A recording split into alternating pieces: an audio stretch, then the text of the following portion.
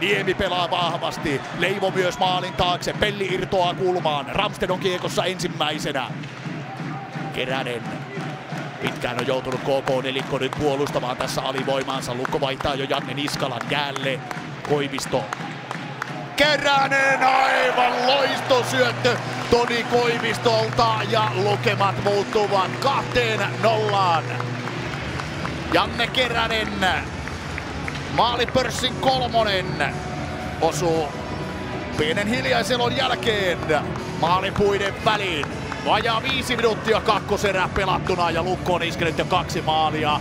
Ja tulee neljön keskeinen kyllä niin vapaa väylä tässä vastustajan parhaalle maalin tekijälle, että KK saa ottaa tätä maalia myös itseensä. Toki on todella tarkka ja hyvä esityö Toni Koivistolta, mutta tässä nelikolta hukkuu kyllä Keränen keskustasta